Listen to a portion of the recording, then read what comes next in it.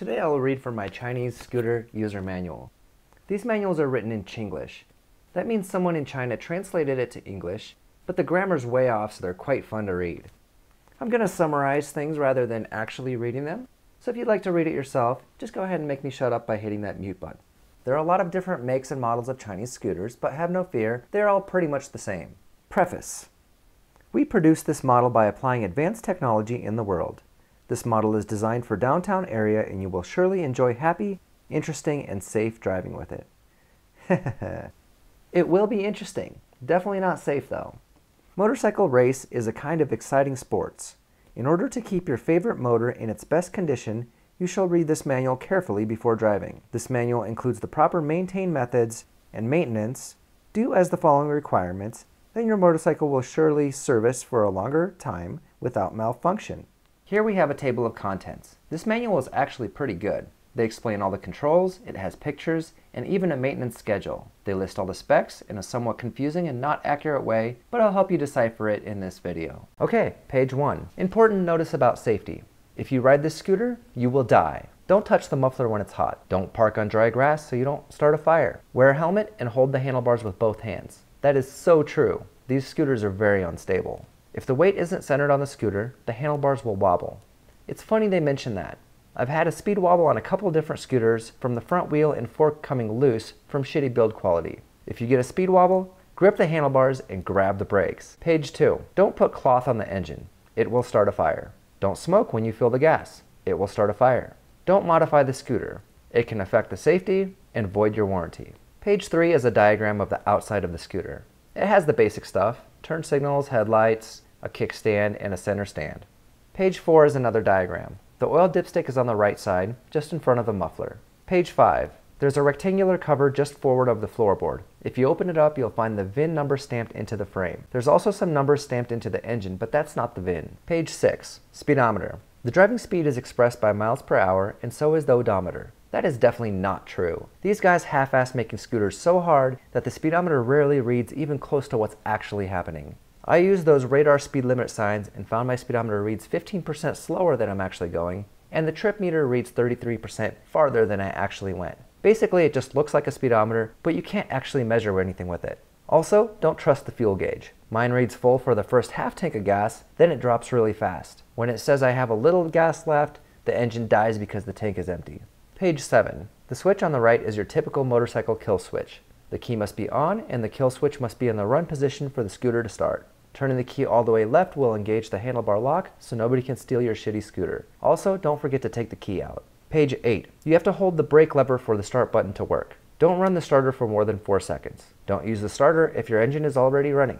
The left handlebar switch has your high and low beam headlights. Page 9. The left switch also has the horn and turn signals. To signal left, move the lever left. To signal right, move it to the right.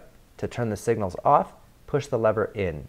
Page 10. To engage the steering lock, turn the handlebars all the way left and turn the key left to the lock position. Don't lock the handlebars while riding. Don't park in a place where you'll block traffic. Use the ignition key to unlock the seat compartment and the gas cap. Use 90 octane or higher fuel. Page 11. To fill the gas, put the scooter on the center stand and far away from fire. Don't overfill the gas and close the gas cap when you're done. You should have the scooter on the center stand and hold the rear brake when you start the engine so it doesn't drive away from you. If the rear brake doesn't work, it can cause an accident. Page 12. When you start the engine, you may need to twist the throttle a quarter of a turn. Don't use the starter for more than 4 seconds at a time. If it's cold outside, let the engine warm up 2 to 3 minutes before riding. Don't start the engine indoors. You can also use the kickstart lever to start the engine. Page 13. Push the scooter forward to get it off the center stand. Hold the rear brake so the scooter doesn't accidentally get away from you. Accelerate by twisting the throttle gradually. Page 14. To break in your new engine, keep your speed below 35 miles an hour for the first 600 miles. Don't accelerate quickly and don't drive at the same speed for an extended period. Use both front and rear brakes to slow down. Don't brake hard on sharp turns. Don't brake hard in wet conditions. Stopping distance will be longer when it's raining. Page 15. When parking, use your turn signals, let go of the throttle, and use your brakes. Turn the key off after you stop, then put the scooter on the center stand. Turn the handlebars left and the key left to engage the steering lock. Don't forget to take the the key out of the ignition. Page 16. Place the scooter on the center stand to check the oil. The dipstick is located just in front of the muffler. Wipe off the dipstick and insert it. Don't screw it in. Check the level on the dipstick. If the oil is low, add 10W40 oil until it reads max on the dipstick. Make sure the scooter is on a flat surface when checking oil. If the engine is hot, you can get burnt by the muffler. Be careful.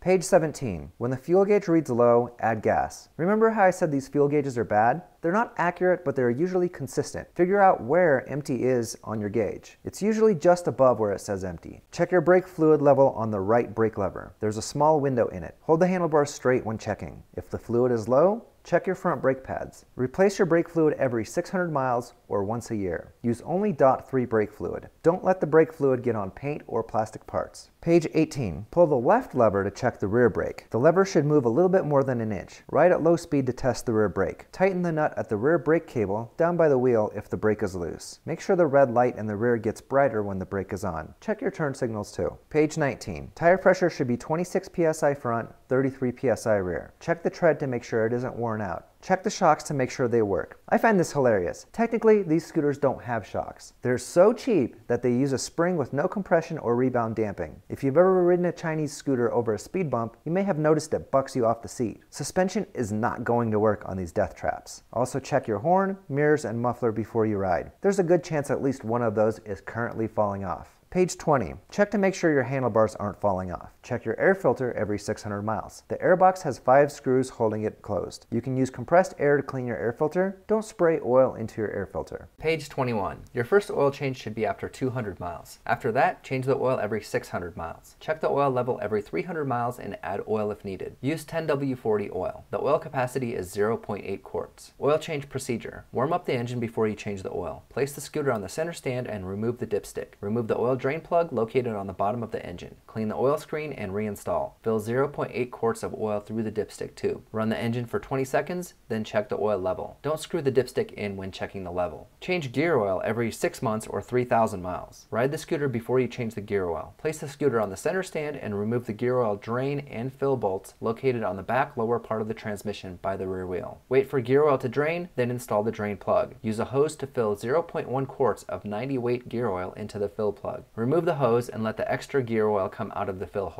Reinstall the fill plug. The first gear oil change should be after 200 miles, then every 3,000 miles. Page 23. The recommended spark plug is the NGK C7HSA. Spark plug gap should be 23 to 27 thousandths of an inch or 0.6 to 0.7 millimeters. The scooter has a sealed lead acid battery that does not require adding water. Do not open the battery. If you don't ride the scooter for a long time, remove the battery and connect it to a trickle charger. If the fuse is blown, replace it with a 15 amp fuse. Page 24. When replacing electrical components, use the same type. This is important for the headlight. Scooter headlight bulbs look like car bulbs, but use 35 watts instead of 50 watts. Replace your fuel filter every 6 months. Make sure the engine is off and there is no fire near the scooter. Page 25. This is the maintenance chart. Oil changes every 600 miles, valve adjustments every 1200 miles, new fuel filter and gear oil every 3000 miles. Inspect everything often. Page 26. The infamous malfunction page. When the scooter malfunctions, take it to the service shop. If the engine doesn't start, check to see if there's any fuel. If the fuel is empty, add fuel. Make sure you're using the proper starting procedure. Check to see if there's a problem on other parts. Basically check the entire scooter. Or just throw it in the dumpster and buy a Yamaha. Page 27 is the wiring diagram. This is actually very useful. There are two main types of systems. Some scooters use a DC CDI and others use AC. If your headlight turns on with the ignition switch, you have a DC CDI. If the headlight only works when your engine is running, you have an AC CDI. The magneto charges the battery and generates alternating current or AC. It then goes to a rectifier that turns it into direct current or DC. DC is required to charge the battery and make the electrical system work. On some scooters, some of that AC power goes directly to the ignition module, CDI, and the headlight. If you do a Google image search for GY6 diagram, you can find a wiring diagram for your scooter. Page 28, specifications. The GY6 engine is a forced air-cooled engine. That means it has a plastic fan and a shroud around the engine to keep it cool. Your 125 or 150cc scooter will have between 5 and 8 horsepower. The top speed will be between 45 and 65 miles per hour. It uses a belt drive CVT or continuously variable transmission. Fuel tank capacity is 1.2 gallons. Oil capacity is 0.8 quarts. 90 octane or higher gas is recommended. Hey,